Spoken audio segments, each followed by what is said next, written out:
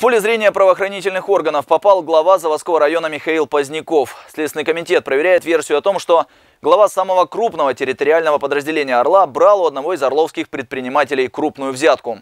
Заявителем стал орловский бизнесмен. Александр Корнеев рассказывает, что Поздняков требовал у него миллион рублей за разрешительные документы на строительство кафе в центре района. Деньги происходили в кабинете у него, происходили. И, и также ко мне домой приезжали за деньгами. Моя бывшая супруга все это видела.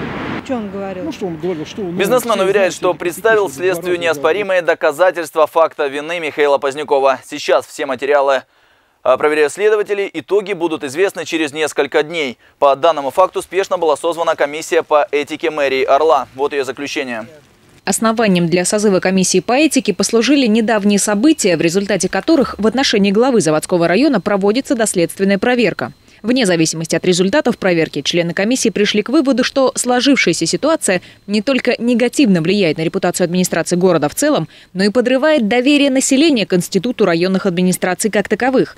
Окончательное решение о мере воздействия в отношении Михаила Позднякова будет принято главой администрации в ближайшие дни.